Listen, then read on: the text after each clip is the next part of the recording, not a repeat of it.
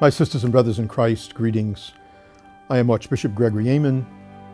In the Gospel, Jesus said, Amen, I say to you, whatever you do for one of these, the least of my sisters and brothers, you have done for me.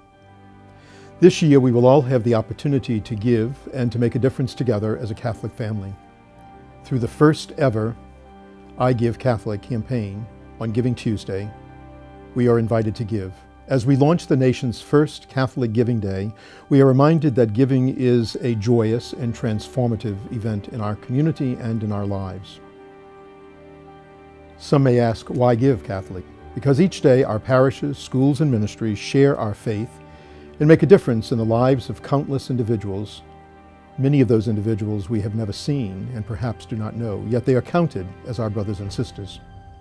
For us as Catholics, generosity and giving have a profound meaning. And as children of God, giving is the ultimate expression of mercy as we feed the hungry, clothe the naked, give shelter to the homeless, care for the prisoners, and we preserve our Catholic heritage for future generations by our acts of mercy.